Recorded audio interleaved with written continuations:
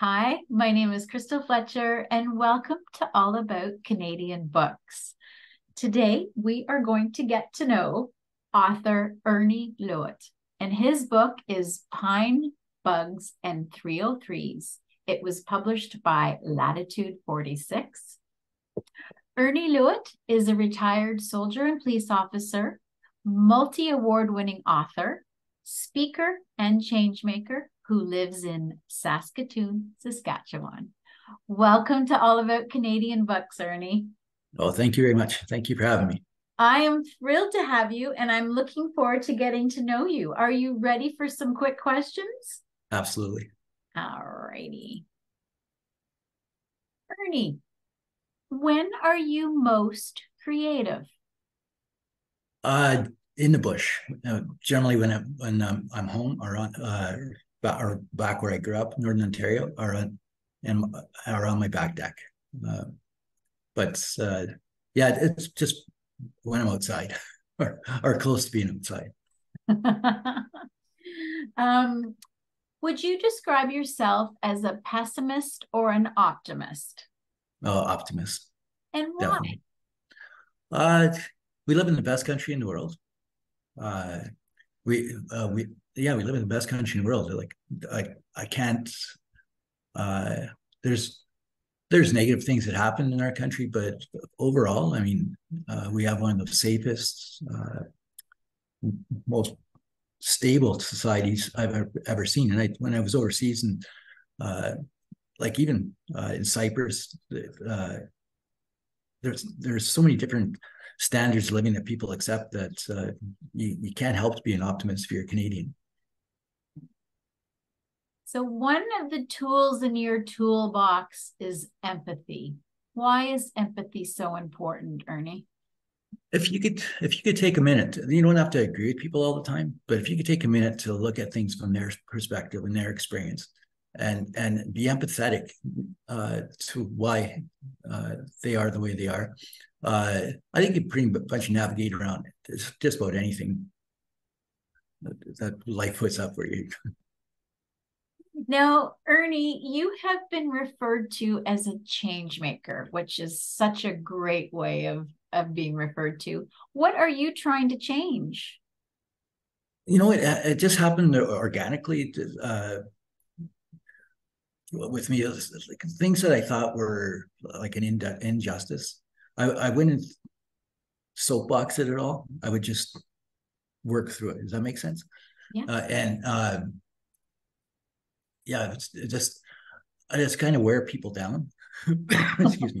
Uh, till till a change occurs, and sometimes it's it's uh, subconscious when it happens. Sometimes it's obvious to them that they've been changed, whether they like it or not. Uh, and so yeah you just wear them down i uh, you know there's so many different uh, stereotypes when i was growing up and, and i would just basically like i said wear people down and all of a sudden i'm not going away and yes what i'm doing here is is right or it's gonna it seems to be right to me and eventually you'll come to see it as right if if uh, as well if that makes sense that sounds kind of arrogant but uh, yeah i just wear you down yeah. You're passionate. yes. Now, um, when you were 17 years old, you decided to join the armed forces. What made you decide to join the armed forces? I, I think I always knew at some level I wanted to be a soldier. Uh, when I was a kid, I was constantly there. Every stick was a gun, and every rock was a grenade. And you know, when you're you're you when you're moving through the bush, even when you were hunting, when I was uh, young, I used to think about, yeah, this is me moving through uh, the forest looking for the enemy type stuff, and uh, so I, I, think I always knew. And then once I knew my grandfather had been killed in the war, uh, I think that kind of cemented it. And I quit school when I was 15, and I was working on the railway, and uh, just you know, kind of a typical Northern Ontario party kid. I had hair down to my waist and uh, and then we're, I was in North Bay, Ontario, when I decided uh, to walk into a recruiting center and, and, join the army, which absolutely changed my life. Mm-hmm. And when you say it changed your life, how so, Ernie? Uh, it gave lots of purpose. Uh, it gave me lots of discipline, and uh, you know, at, at first, you know, it's it's an adventure for a kid from the bush because I basically I grew up in and, and never really lived in a city or anything like that. And uh, when uh, once I joined the army, we got based in Winnipeg for a while. So actually, was in a, in a city, and it just opened my eyes up so much, so much. And the discipline was the, the big one, though, for me. Uh, you know, it it gave you the passion and drive to finish what you started all the time, as opposed to you know trying it and quitting, and trying and quitting. I already quit school once, so that was uh, enough quitting for me. So. And what prompted you to be a writer? Uh, well, I love to read. I absolutely love to read. And that passion came from my mother. Actually, my mom used to, because uh, we were we weren't financially very well off when we were young, uh, but my mom always seemed to find books. She always seemed to find books, and she'd leave them around and tell us not to read them. Right, leave those things alone. you know, they're not for you. I remember reading Helter Skelter when I was like twelve. just, and but my mom used to she like yeah she just found books she used to go up to the uh the uh, the bush camp the lumber camp and uh when guys threw their paperbacks away and, and bring them back and so there was always books in my house so i had a, a love and passion in reading from and i knew i knew that someday i wanted to write uh, and uh and then once I started, well, actually, I wrote I, I, wrote a bit when I was in Cyprus, but I look back on it now, like 35 years later and I go, that was that there was that wasn't very good. you know, it was because I think we're back then, you know, you're typical young soldiers. So you, you you're you know, you're thinking in black and white terms a lot of times and you know, and and uh you weren't uh, or, or I wasn't uh let's see, I was part of that military subculture. You know what I mean? Like everybody was uh, if you weren't a soldier you were a civilian and civilians are, were just in the way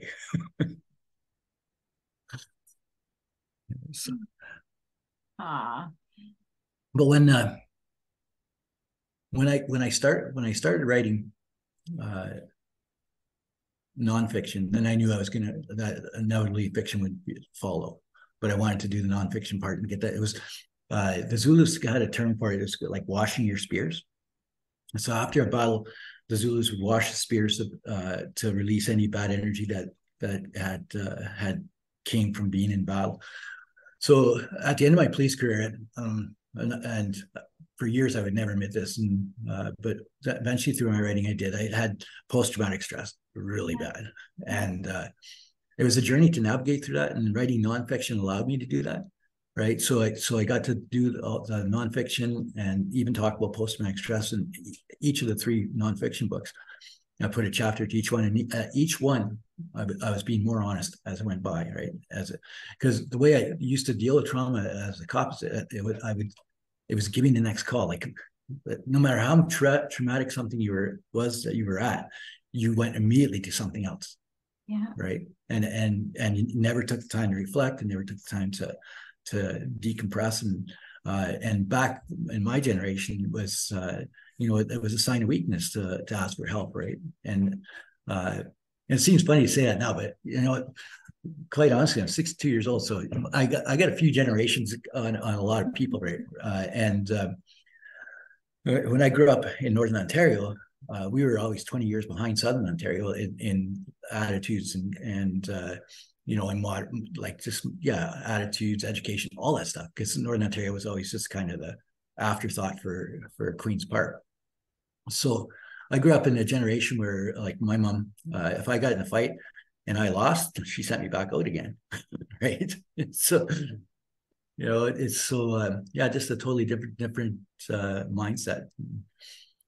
Uh, but once the not once I wrote the nonfiction, that's when the, the and I thought, yeah, it's it's time for me to write a fiction book, and and uh, and I and I went at it with like absolute joy when I started doing it because uh, I I was on the train taking the train, took the train uh, back to Oba uh, a lot when uh, over the years, and I was on the train and uh, and I was, you know, just what you know the train's motion. It's it's trains are great. Just if you're um, just don't be in a hurry to get there Yeah. right.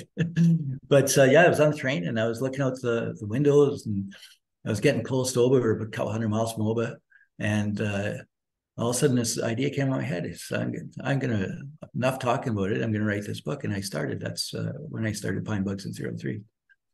Well, that's that's wonderful. How wonderful that you've been able to use your writing to work through post traumatic stress. That's a, that's an incredible journey that you've been on. Just incredible. Yeah.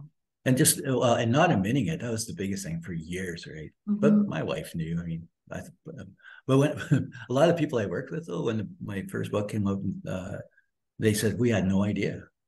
And I said, but there was times where I've been hyperventilating before going in on a search warrant, uh, but I was by myself, right, in the car, and I just yeah. go like, oh, holy shit, holy shit, like my heart would just be pounding. But then when it's time to go, when it's go time, then you were back to normal life, like give me the next call type that that that attitude. So, my goodness, how are you doing now, Ernie? Are you feeling better?